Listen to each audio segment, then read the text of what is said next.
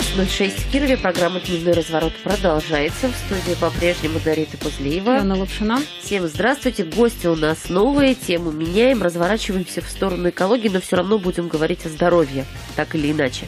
Григорий Поскребышев, э, координатор общественной экологической организации «Чистая вятка». Добрый день. Всем добрый день. Э, И Игорь Багин, организатор движения «Красивый Киров». Здравствуйте. Здравствуйте. Так, два, два человека у нас здесь, э, чтобы прокомментировать недавнюю совершенно новость. Активисты запустили сбор денег на покупку приборов для мониторинга воздуха в озерках. Вот эта история с мониторингом воздуха, я, насколько помню, мы даже встречались в этой студии, это было начало 2020 года, как раз была инициатива, по-моему, красивого Кирова по закупке э, неких приборов, которые позволят мониторить э, наличие в воздухе мелкодисперсных каких-то частиц, которые э, плохо влияют на наше состояние, и потом на основании вот этого мониторинга создать какую-то систему вообще слежения, да? Да, я расскажу, эта история очень давно длится. Вообще у меня была идея, наверное, еще там в 2018 году такую сеть создать, и у меня там на планете, вот на этом сервисе, который компании эти э, ну, да, можно запустить. А, В общем, у меня там есть черновик, а, но я там хотел закупать, ну, дорогие станции достаточно, но не очень хорошие. Но, э, в общем, это так и осталось идеей. И мы вот с Григорием, там еще с ребятами тоже собрались, там обсуждали эту идею, и, в общем, до реализации так и не дошло. И потом э, товарищ один, э, который тоже у нас там в этой группе состоял, вот у него уже эта идея возникла, и он, Ага. в общем, ее реализовал, и этот сбор все-таки организовал. То есть мы, как вот, наше там движение «Красивый Киров», мы информационно тоже э, ну, эту историю, понятно, поддерживали. Он уже готов был там собирать датчики вот из ну, в общем, из мелких деталей, э, то есть не какие-то покупать готовые уже датчики, как я хотел, а, э, ну, в общем, сборные эти всякие Так, штучки. Григорий показывает. У нас тут просто на столе те, кто смотрит нашу трансляцию в Ютьюбе, в, в- ВКонтакте и на нашем сайте, могут видеть. У нас на столе лежат какие-то составные части, как да, я а, понимаю. понятно, да? что в такой форме покупать это все дешевле. Ну, у кого есть там способности, э, могут все это сами там собрать и установить. Э, Вот. И мы начали собирать деньги, но, э, в общем, видимо, не так популярна оказалась эта идея, не, не собрали нужную сумму, плюс э, э, мы хотели размещать информацию на сервисах, Ага. э, ну вот э, о концентрации там, мелкодисперсных частиц в воздухе, э, чтобы ну, в глобальной сети мы оказались, и Илье, вот, который все это организовывал, ему ну, просто не ответили оттуда. И насчет датчиков, там, которые он тоже хотел покупать, тоже ему не ответили. И, в общем, и, и тут не ответили, и денег достаточно не собрали. И в итоге эта история как бы... И коронавирус еще случился, и все, Ну, да. это как-то застопорилось. Да, да, да. Сейчас, получается, как бы вторая, вторая жизнь у проекта появляется. Да. Так. А это сейчас вот Григорий расскажет. Хоро- про- х- Хорошо. То есть вот э, изначально, насколько я помню, планировалось покупать вот эти станции мониторинга, про которые Игорь говорит, что они достаточно дорогие. По-моему, там э, в районе 200 долларов, да, стоила одна да, да, да, станция. да, около ста. И говорилось про 20 каких-то станций, которые планировалось не только в озерках разместить, а вообще по Кирову. Ну, вообще по Кирову, да, мы, э, я ходил и разговаривал с сотрудниками медуниверситета, мы обсуждали, какие там районы у нас самые грязные, обсуждали э, с ними точки, где можно эти станции расставить. В общем, Мгм. они готовы были э, эти данные использовать тоже в своих каких-то исследованиях, то есть как на здоровье это все влияет и так далее. Но вот площадку, куда бы стекались эти данные, эти сведения, тогда не нашли. Нет, э, нет, мы опасались как раз, что не сможем собрать достаточно денег, и, в общем, вообще эту историю не запускали. То есть это обсуждалось где-то все в сети, но так массово запустить, там, объявить сбор денег на, вот на эти дорогие станции, этого не было просто. Сейчас решено отказаться от дорогих станций в пользу вот э, приобретения каких-то составных частей и сбора из них. э, Но да, это уже во приборов. вторую волну Да? сбора было решено отказаться от дорогих станций. Вот Илья как раз начал собирать на станции вот такие, как бы и у Гриш сейчас, я так понимаю, ну, такая же идея, тоже недорогие станции, которые можно самим собрать, купить датчик, э, купить еще какие-то там приспособы, э, вот, все это собрать. То есть э, вот, можно сказать, три волны у нас Мгм. сбор- была просто идея, а потом был уже сам сбор на недорогие датчики, и сейчас третий раз мы пробуем, в общем, все это реализовать. Как это будет работать? Это будет собрано профессионалами. То есть я, конечно, хотел бы Илью Тихонова поблагодарить за то, что он передал нам как раз... Илья, это вот э, из да, красивого Кирова да, как раз. да. Угу. Так. Специалист, он э, понимает в софте, он, наверное, даже хотел сайт сделать, ну, или для ребят. Вот. И у нас есть также свой специалист, я хочу их всех объединить. Красивый Киров, ВОП. ВОП – это Всероссийское Всероссий- общество охраны да, природы. да, Мгм. Константин Окулов. И, соответственно, на одной площадке провести мастер-класс, чтобы все посмотрели, как это просто, как это можно в бытовых условиях делать самим. Наша задача, а, может быть, это была ошибка как раз ребят, они понадеялись на себя, а мы хотим именно подключить народ. То есть э, Жителей, горожан. Жители, конечно же. Неправильно, если ребята ищут спонсоров, ребята ищут э, возможности, сами скидываются, а жители ничего не делают, не предпринимают никаких активностей. Поэтому здесь должна быть ну, какая-то кооперация, э, союз, симбиоз жителей, э, активистов, экологов, власти, для того, чтобы эта система появилась. Мы ее назвали, вот можете посмотреть. Вятка дыши. Да, вятка дыши. Значит, были другие варианты. До этого мы рассматривали э, Ой, дым, дым нол, то есть дым нол, стоп, не- нет дыму. так. Вот, но более позитивно, более творчески.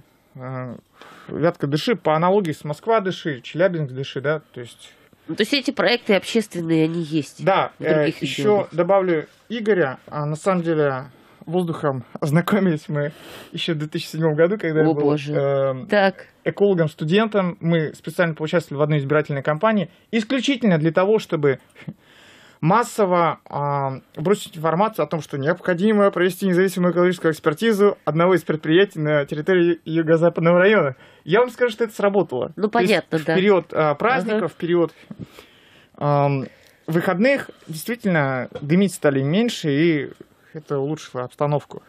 так, ну вот все-таки возвращаясь к озеркам, почему именно озерки выбраны как стартовая площадка для, для размещения? И там, вот да? из-за того шума, который под, под ним поднялся Ну, в последние Или месяцы, потому что или- там молодых много активных жителей, которых проще раскачать там, да, на поддержку вот этого Так проекта. это одно с другим и связано. То есть молодые, шумные, скандальные, и они привлекли себе больше внимания. По идее, это расщ- э, вот наш проект, как у ребят изначально и задумался, на весь город. Просто у них качество оборудования планировалось более высокое. То есть они по большому счету могли бы э, своей системой обеспечить нормальный полноценный мо- мониторинг для Росгидромета. Э, в общем-то, они должны были в связке с ними работать. Стран... Ну, я понимаю, почему Росгидромет с ними работает, и Роспотреб. Это такие неповоротливо закрытые структуры сами в себе.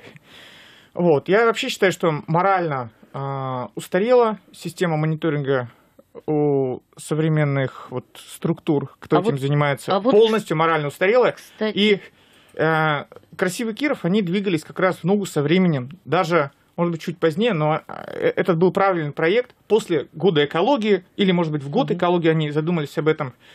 И мы сейчас совместно с ними, и, э, благодаря их опыту, положительному, негативному опыту, поэтому я рад, что Игорь здесь присутствует, мы с ними совместно и реализуем такой городской проект, подключив максимальное количество общественных активистов, экологов, э, представителей, может быть, органов исполнительной власти и так далее. Да, я вот. Игоря хотела спросить, а вы ведь когда за- затевали свой проект, наверняка изучали, а как вообще э, изучается, там, мониторится состояние воздуха, атмосферы, атмосферы в Кирове? А, Конкретно мелкодисперсные частицы никак не мониторятся, а, оценивают на двух перекрестках а, исключительно взвешенные частицы, то есть общая фракция, но это Давайте разницу напомним, вот эти мелкодисперсные и взвешенные, они чем друг от друга Ну, отличаются? взвешенные частицы это просто пыль, мелкодисперсные это тоже взвешенные частицы, но они просто делятся там на разные фракции. То есть есть частицы PM 2,5, э, это такие супер мелкие частицы, которые могут проникать а, как бы внутрь органов дыхательной системы и даже попадать в кровоток. PM10, он ну, застревает в верхних путях дыхательной системы, но взвешенные частицы это просто пыль, и там с ней очень странно работать, потому что, ну, зачем э, нужно мониторить именно вот эти частицы мелкие PM2,5, потому что они ну, ну, супер опасны для здоровья. То есть э, с помощью мониторинга можно оцени- оценивать уже как э, содержание этих частиц, э, ну, в зависимости от того, какое оно, там, какой объем, а, как это влияет на здоровье, а, как мы можем там в деньгах это оценить, сколько там бюджет теряет денег и так далее. Вот, ну, а Это тут нам Григорий просто показывает жителей города в скафандрах и собачек в Да, скафандрах. главное, главное Вот то, что эти частицы очень как бы сильно влияют на здоровье. А, Вот э, у нас э, в Кирове пользуются если надо, если кто-то попросит, но на самом деле этого не делают, расчетными методиками, но расчетные методики показывают результаты, там, которые от э, реальности от, там, отличаются на 30, на 40 процентов. Ну, то есть, То есть это не, за- это не замеры. Да, это расчетная методика, просто с, с помощью формулы какой-то они вычисляют, считают. Среднесуточная, средняя. Не-не-не, они... Ну, Ну, в какие-то смысле, они то есть получается, что состояние Не атмосферного воздуха в Кирове регулярно на постоянной основе никак не мониторится. Нет, не мониторится, да, а, правильно тут еще вот Гриша подсказал. Нужно мерить, ну, именно если мы про мелкодисперсные частицы говорим, нужно мерить среднесуточную концентрацию э, и среднегодовую. А, У нас, то есть это должно быть непрерывное наблюдение. У нас, если какая-то станция есть, то она там, ну, э, несколько раз в год, например, выезжает, какие-то замеры, да, они берут, но непрерывного наблюдения за такими частицами нет. А, непрерывное, в смысле, оно должно вестись вот прям ежедневно Да, на да. протяжении какого-то длительного периода Да. отчетного или вообще постоянно? Ну, вообще постоянно, прям непрерывно. Ага. Смотрите, разница контроля и мониторинга в том, что контроль, вот ребята выехали с э, датчиком, а, измерили в момент выброса а, там, концентрацию, да, а мониторинг это как гражданский, общественный, экологический мониторинг, это когда огромное количество вот этих собранных э, датчиков стоит за окнами у граждан, мы с ними заключаем соглашение на использование оборудования, и э, эта информация стекается на сервер или бессерверным способом в интернет, и любой человек может э, посмотреть, что вот в соответствии с показаниями конкретного датчика на конкретной территории там на высоте, на высоте двух, трех, четырех метров а, такое-то, да, содержание. да, Максимум третий этаж. Да, Максимум но, третий но- этаж. но мы будем э, играть здесь по-разному. Вот э, э, некоторые активисты в озерк- э, не из озерков, но в озерках говорили, что и на десятый этаж надо э, или на восьмой поставить эти зачем? датчики. А я тоже не знаю зачем. Но неважно, это э, их право. Пусть Нет, Ну, если- давайте если- скажем, да, давайте смыс- объясним смысла тогда. в этом нет, потому что мелкодисперсные частицы, они, а, да, а, ну, они не оседают на землю, но они э, в основном, э, ну, вся концентрация, там 80%, они находятся на высоте а, от метра двадцати до двух метров, то есть на уровне человеческого роста. И мерить выше там смысла нет, их ну, просто там не может существовать, этих мелкодисперсных частиц. Но они, вот их размер, то есть почему они находятся именно на такой высоте, из-за своего размера. То есть э, они настолько легкие, ну, то есть все равно какой-то вес у них есть, но они настолько легкие, что они полностью не оседают, но на вот этой высоте болтается, находятся, да. болтается в воздухе Да, на да. высоте роста ребенка или взрослого человека. Да, да, получается. да. Я просто подумала, что я знаю парочку человек, которые, похоже, не сталкиваются с этими частицами из-за своего роста. Ну, меньше... больше двух метров. А, больше Дядя двух Степа? метров. Нет, но они же наклоняются, ботинки зашнуровывают. В конце Ну, не в том количестве, с которым, Да, ну в да. котором мы с вами. Но вот тем не менее, да, зачем тогда вот э, вижу я пресс-релиз весенний, который приходил как раз вот по этим взвешенным частицам. 316 исследований там, они там проводили э, и выявили отклонения на двух, по-моему, перекрестках. Да, Ленина на- Блюхера, да. Да, Ленина сам- Блюхера еще сопроизводственная.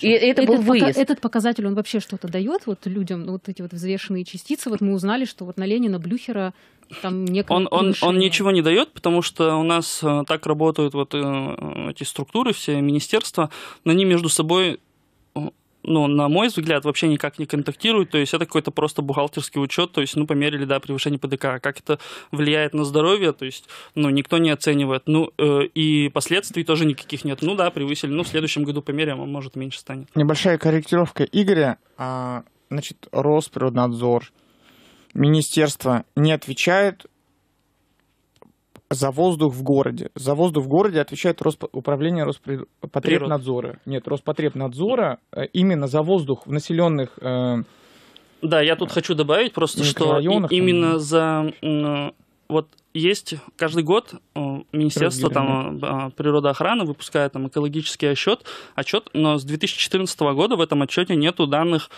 об объеме загрязнения там, выбросов вредных веществ от передвижных источников. Э, а Основ... От машин мы имеем да, в виду. Основной источник вот этих мелкодисперсных частиц – это э, передвижные источники. А за передвижными источниками этот объем считает Росприроднадзор вообще. И то есть, если мы посмотрим у них их отчет, они там на сайте министерства это все публикуют у себя, э, то за последние там несколько лет у нас э, объем загрязняющих веще, вредных веществ э, от стационарных источников снижается, то есть они там ставят себе какие-то фильтры, новое оборудование и так далее. А, а, объем ну, вот, загрязнения от передвижных источников растет и растет настолько сильно, что э, ну, даже вот от стационарных источников снижается, а общий объем в целом он все равно растет. Да. То есть, э, а, поэтому нужно за передвижными источниками очень... Передвижные ну, источники – это транспорт, я да, правильно да, понимаю? 60% – это передвижные источники. Ну, даже больше сейчас. Угу. Еще в 2014 году а, не, то ли Черняев, кто там был а, главой Министерства природоохраны, он говорил, что там до 70 практически процентов, но это было еще несколько лет назад. Есть, а транспорта у нас личного да. все больше и больше, да? Да. Ну, смотрите, отвечает это что значит? То есть тут э, ответственность-то какая? Условно говоря, юридическая плоскость. То есть Роспотребнадзор отвечает за состояние воздуха в микрорайоне Озерки. Воздуха. Отвечает, значит ли это, что на него можно пожаловаться?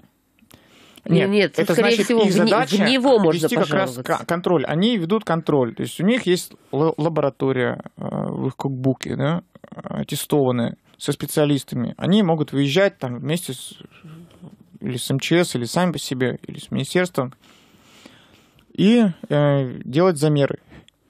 Вот. То есть э, именно за население отвечает Роспотреб. Это надо понимать. А Росгидромет должно бы заниматься мониторингом. Кстати, им давно уже предлагали использовать э, полупрофессиональные датчики, даже не бытовые, но в связи с тем, что эта структура такая вот неповоротливая, ну, большая. Понятно, федеральная. Но, но мне, они, мне они отвечали, что это дорого, это нужны какие-то там суперспециалисты, супер денег у нас нет. Но вот э, по последним данным, э, Росгидромет начинает там в 12 городах, самых грязных в России, э, внедрять, э, ну, модернизировать свое оборудование и внедрять непрерывный мониторинг именно за мелкодисперсными частицами PM2,5 и PM10. Хорошо мониторинг, э, даже если мы внедрили, впоследствии-то что? Потому что получается, если мы видим, что идут выбросы там, от условного какого-то предприятия, мы приходим на предприятие, ну, я упрощаю, да, все, и говорим, так, ребята, с вас фильтр, они ставят фильтр, ситуация условно улучшилась. В случае с автомобильным транспортом, Смотрите, с автомобилями как быть? Мониторинг нужен для более качественного контроля. Сейчас контроль идет по жалобам, и не оперативный. Когда будет мониторинг, ну вообще это сигнальная сеть на самом mm-hmm. деле, э, даже не мониторинговая. Э, там нет качества, там чисто количество частиц. Поэтому э, сначала идет вот мониторинг, на основании его строится система контроля, а затем уже правильное, выверенное управленческое решение. Какое? Вот если мы говорим о Смотрите, То есть тут разгружать какие-то перекрестки. У нас семь холмов. Так. Как минимум надо а, в любом случае ставить датчики в низинах. Ну холмов. понятно, Это где в любом случае, все. да. Так. Угу. Мало того, я вам скажу, я тоже поднял старые материалы в нашей библиотеке в офисе в организации нашей. И э, в свое время студенты, школьники, лицеисты из э, Клеона э, занимались э, совместно измерением ой, состояния, состояния воздуха на перекрестках самых загрязненных по снегу. То есть они брали снег, ну понятно, что это только преимущественно делается зимой, а, а летом это биомониторинг. То есть, в общем-то, да, это довольно интересная методика, но вот не Нет, слушайте, ну вот вопрос... Да, по поводу, по поводу ага. решения я сейчас расскажу. Понятно, что если основной источник это там, автотранспорт, то решение по снижению загрязнения лежит в плоскости э, ну, транспортной вот этой отрасли. Ну, то есть управление как-то потоками И какие-то все транспортные решения. Да, понятно, что ну, многие сейчас грешат там на общественный транспорт, но если э, посмотреть, сколько у нас в сутки выходит на рейс общественного транспорта, это там около 500 там, транспортных средств. Угу. И сколько личных автомобилей, это где-то 30-35 э, тысяч в сутки выезжает, то понятно, в силу количественного вот этого фактора, там, личный автомобиль, он как бы больше э, приносит вреда, и у нас там половина автопарка это машины старше там, 10-15 лет, у которых нет вообще экологического класса или экологический класс, который там от 0 до 3. Некоторые сейчас уже там на поток поставлен а, вот, снятие там, катализаторов. катализаторов, да, э, который как раз отвечает за фильтрацию. Вот, э, понятно, и люди не хотят там э, дорожат автомобилем и двигателем, не хотят потом это все менять, чинить лишний раз, то есть дешевле им катализатор этот вырезать. Вот, то есть тут, понятно, в этом плане контроль нужен более жесткий за экологическим классом. Понятно, что автобусы там сами нужно переводить на газ, э, ну и плюс дестимулировать поездки на автомобилях, то есть э, стимулировать поездки на общественном транспорте, то есть сделать так, чтобы не было излишних поездок каких-то на машинах, ну вот эти все платные парковки и так далее, потому что, а, ну по поводу вот экологических классов я сказал, да, при определенных погодных условиях выхлопы составляют только 50%. Ну, угу. вот источников этих PM, да, а 50, а остальные 50% это может быть вторичная взвесь какая-то, то есть, например, а, тормозные колодки стираются, шины стираются, то есть даже новые машины, которые люди себе покупают, они тоже становятся источниками вот этих мелкодисперсных частиц. То есть здесь именно нужно сокращать общий пробег, ну, путем вот э, дестимулирования поездок на автомобилях. Еще добавлю, в 2012 году мы проводили круглый стол на базе как раз, по-моему, министерства, тогда еще департамент вроде был. И мы предлагали, э, ну, понятно, озеленение, освежение города и часть, э, может быть, там, полиции вперед пробок, да, пересадить на велосипеды, на альтернативный вид транспорта, или хотя бы там мотоциклы или скутеры. А почему нет? Ну, вообще... Пробка стоит, а они хоп-хоп и проехали э, до... Ну, вообще правильно. Сейчас э, много говорится о том, что, ну, вот, э, там, современная повестка развития городов э, и цели, которые там Всемирная организация здравоохранения ставит и Организация Объединенных Наций, заключается в том, чтобы развивать немоторизированный транспорт, э, пешеходную инфраструктуру, там, велоинфраструктуру и так далее, общественный транспорт, чтобы люди больше передвигались пешком, и все это связано как раз там, с вредными выбросами, с активностью. Ну, вот. Э, и проблема здесь я вижу в том, что вот как раз о чем я сказал, э, министерство там вместе, ну, друг с другом не коммуницируют вообще никак. То есть мы уже видим, что здесь плоскость там Министерства там, транспорта или отдела транспорта, Министерства здравоохранения, Министерства охраны окружающей среды, то есть они вместе должны сесть и эту а, ну, какую-то позицию общую выработать. А, уже во всем мире, там и в других городах появляются ну, это тренд вот последних лет, мультидисциплинарные какие-то команды, которые а, ну, решает, решает уже, состоят. да, решает уже какие-то конкретные проблемы, и там э, отделы, ну, например, отдел градостроительства, например, у нас есть, то есть у него тоже должны быть компетенции там в транспортном планировании, и этот отдел, он должен, у него должны быть компетенции какие-то именно ну, в экологии, то есть это все должно объединяться как-то, они между собой что-то, ну, они по отдельности, что, ой, превысили ПДК, ой, приняли там ПДК нормально, ничего не превышено, ну а дальше как бы, правда, никаких последствий, ну и нам ничего не объясняет, насколько там может быть ПДК превышен, что это значит для людей и так далее. То есть и люди, понятно, вот, не скидываются на сигнальную сеть, потому что не понимают. Зачем? Зачем? Да. А зачем? зачем это надо? Ну, превышено. Ну, ну кроме, кроме того, что и, я думаю... И, да. и, интер, интересный тут факт в том, что э, вот эти мелкодисперсные частицы, да, очень опасны для здоровья, но на запах люди их не ощущают. То есть они влияют на долговременный риск смертности, и там небольшое даже превышение, там уже до, от 10 до 15 процентов этот риск увеличивается.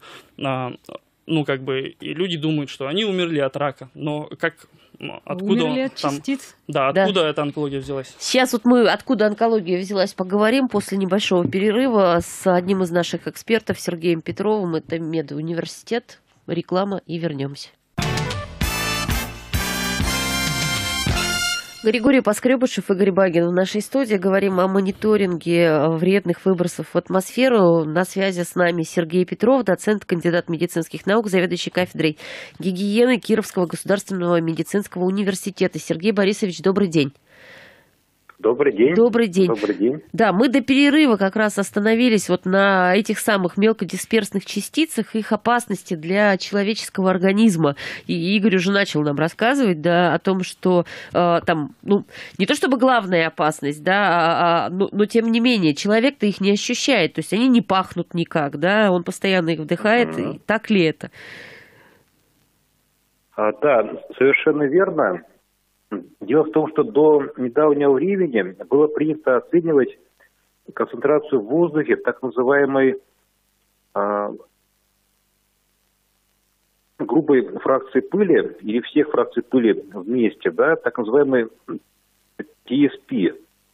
TSP, а, то есть это все, это все фракции пыли вместе. Мгм. Вот. А, Однако доказана патогенность для нашего организма, то есть вредное действие, именно мелкодисперсной фракции. В частности, фракции пыли, имеющие диаметр а, менее 10 микрометров и особенно менее 2,5 микрометров. Они влияют отрицательно на органы дыхания, а, Доказана, доказана их связь с э, смертностью населения, как общей, так и смертностью от э, кардиореспираторных причин, как вариант. Очень бы интересным э, было бы исследование по влиянию данных частиц, в частности, на усиление эффекта от коронавирусной инфекции. Это исследование уже Кстати, проведено. Вот. Мгм. Это Игорь, Игорь тут дополняет, да, Сергей Борисович. Мгм, мгм. Это интересно, кстати говоря, да. А, и в целом, в целом сейчас а, в ряде стран обязательным условием социально-гигиенического мониторинга является проведение круглосуточного наблюдения за а, концентрациями мелкодисперсной фракции пыли.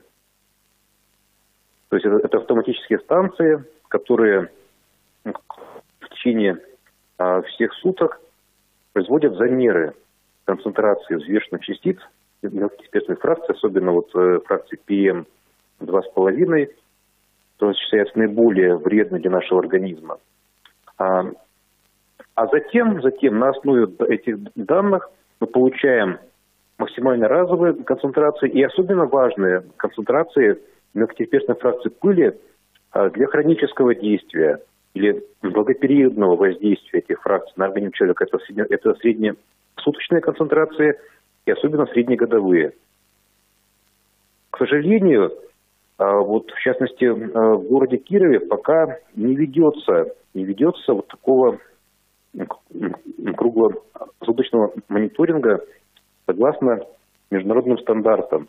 У нас только определяется тотальная фракция пыли, то есть общая фракция пыли. Мгм.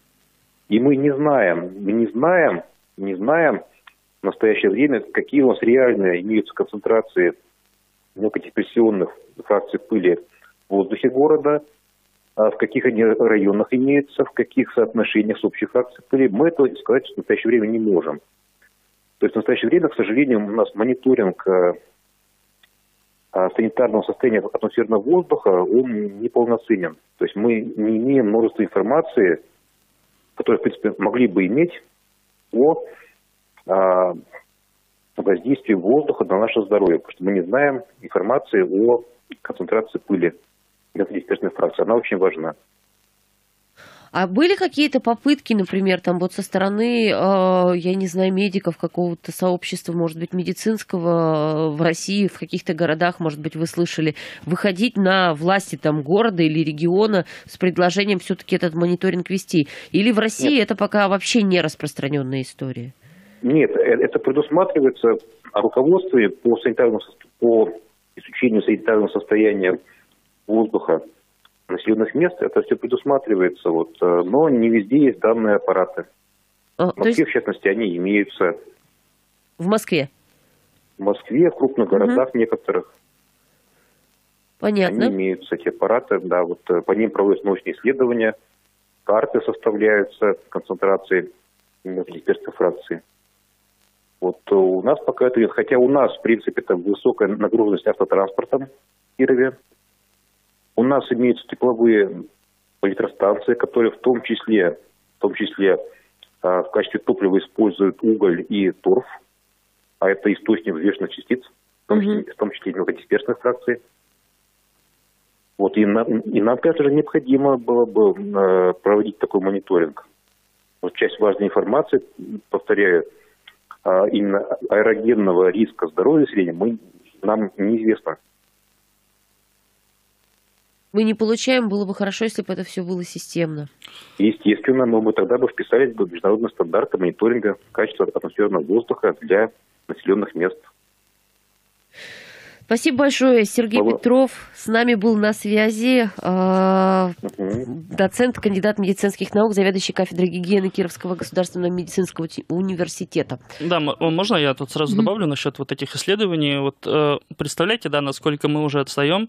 Э, вот э, Сергей забыл, как Борисович. Борисович, да, говорит, что э, там хорошо было провести такое исследование, но вот когда только эта коронавирусная инфекция начала распространяться, в Италии уже в январе начали проводить такие исследования, как содержание мелкодисперсных частиц э, влияет на целью, распространение да? коронавирусной инфекции в Гарвардской школе здоровья.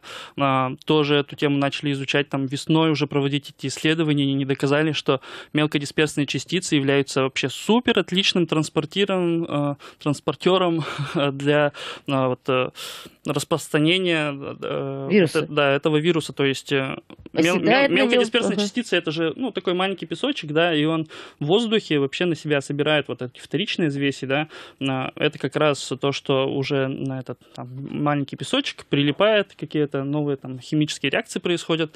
И а так, потом человек его вдыхает. Да, угу. а, ну и понятно, что чем больше содержания вот этих частиц, тем э, лучше распространяется инфекция. И было доказано в Китае, тоже проводили исследования, что а, во время инфекции, когда там был локдаун у них, когда там никто не ездил на машинах, содержание мелкодисперсных частиц упало, ну и понятно вследствие других факторов, что у них распространение там коронавируса этого замедлилось тоже.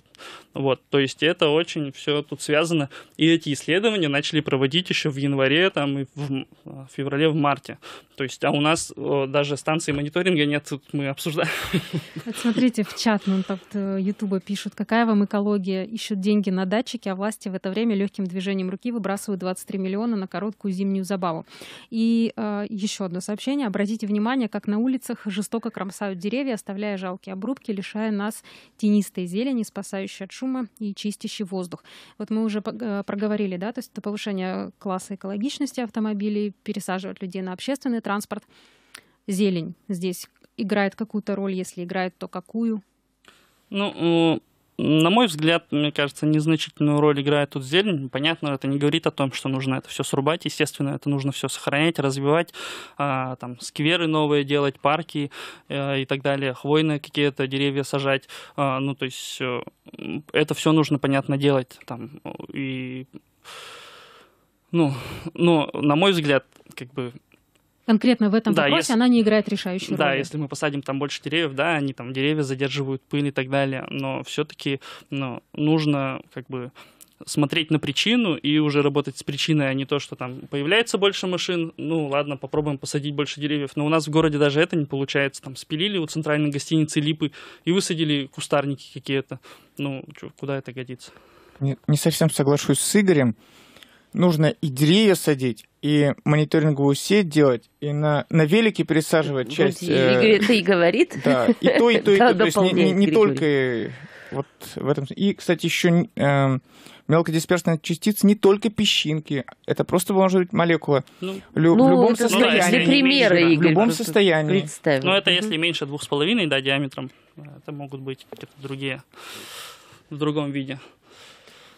Так, у нас осталось две минуты. Давайте еще да, раз про сбор. Значит, смотрите, наверное, я просто э, скажу, что мы планировали еще связаться с э, Тимуром Абашевым, заместителем министра охраны окружающей среды, но вот, к сожалению, мне сообщают, что Тимур Анвелевич на совещании, видимо, внезапно его ну, назначили, и он с нами не выйдет на связь. Я был на пару выступлений Тимура Львовича в Озерках, и могу так. сказать, что его позиция такая, что в, в целом исполнительная власть заинтересована в этой сигнальной сети, поскольку им это даст оперативность реагирования. Если сейчас они опираются только на жалобы местных жителей, то э, сейчас, э, благодаря гражданскому мониторингу, они смогут так же, как и мы, наблюдать за состоянием датчика э, в режиме реального времени, потому что этот датчик посылает сигнал примерно 20, раз в 2,5 минуты, 3 минуты. Э, обновление происходит информации на сервере. Соответственно, для них это оперативность. Плюс это подстегнет их заключить какое-то двойное, тройное соглашение между как раз ведомственными, о чем Игорь говорил, что сейчас это проблема. Это их, возможно, и подстегнет, чтобы совместно реагировать на показания этой сигнала. Да, можно я добавлю тут быстро, что как раз э, в документе в одном э, по, ну, в рекомендациях по созданию документов транспортного планирования от Минтранса сказано, тут в приложении есть такой пункт, что ну и в самом документе есть очень большой пункт, там на полторы страницы, что при реализации каких-то транспортных решений министерство должно учитывать, там, насколько выбросы дополнительные, возможно, которые появятся, будут влиять а, на ну, э, на экологический ущерб. И это тут написано, что, например, а, выбросы одной тонны PM2,5, там, это ну, тысяча, миллион там, рублей. Заканчивается, к сожалению, да. у нас время. 10 секунд. Как можно сделать пожертвование? Планета.ру Э, хэштег «Вятка дыши». Вятка дыши, планета, планета.ру. Спасибо большое нашим гостям. Игорь Багин, Григорий Поскребышев были у нас в студии. Говорили о создании системы мониторинга выбросов вредных частиц. Дневной разворот на этом заканчивается. Мы с Дарьей прощаемся. Гостям спасибо и до свидания. Спасибо, Всем здоровья.